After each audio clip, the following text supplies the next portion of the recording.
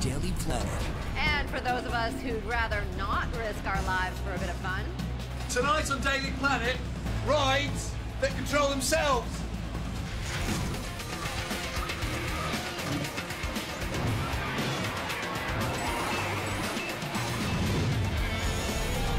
But first, if you've been to a major theme park anytime in the last 10 years, you've probably noticed that the rides are getting bigger and faster. And according to one thrill ride engineer, we're reaching the limit of what you can do to a human body without wrecking it. ooh, I don't like that pancake face either. Well, anyway, what's next, you ask? Well, he and his team in England are working on the next generation of thrill rides. Their story is this week's Inventor segment, and it's all about making things interactive.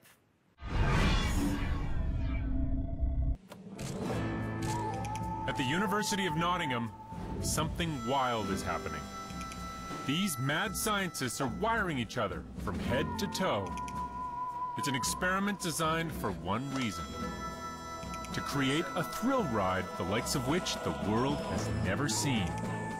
We're aiming to create rides that can customize themselves to each rider's physiology to create the most thrilling ride possible. Brendan Walker and his team of thrill engineers want to design the ride of the future. One that can sense and react to each and every rider's emotional state. If I'm not excited by a ride, the ride itself could start manipulating my experience and tailoring itself to me and my psychological needs. It all started six years ago when Brendan created a formula that could actually work out those kinds of numbers. The thrill factor is when you get a rapid and large change in pleasure and arousal. The bigger they are, the bigger the thrill factor is. And It was at that point we moved from a sort of subjective exploration through to a very scientific, objective analysis of the thrilling experience. With the help of a mechanical bull shaped like a football for some reason, the team brings the theme park right inside their lab. Good. Fantastic. It was a very simple experiment. We have one rider riding the ride, collecting all their data. While the electrodes on the rider track heart rate, sweat levels, and even the movement of smile and frown muscles on the face, all those data get sent back to the operator. We were interested in the ride operator interpreting that data and making ride control decisions based purely on that medical data. If the rider's not as excited as he should be, the operator can crank up the ante.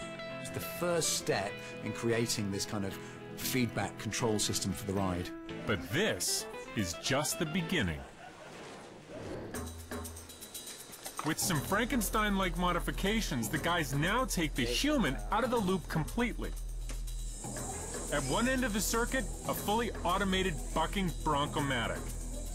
At the other end, a simple breathing monitor is strapped to the rider. As Brendan breathes, you can see on the laptop screen, we, get, we can see his breathing going up and down. And a control panel robot is actually moving the Bronco. So as Brendan breathes out, the Bronco goes one way, and Brendan breathes in, the Bronco goes back the other way. It's like a horror film setting. We've now got a computer controlling a human's enjoyment. If I hold my breath, I think I'm going to be able to stay on quite a while. But it's how long I can hold my breath for, which is the trick. Rider one, are you ready? Not really.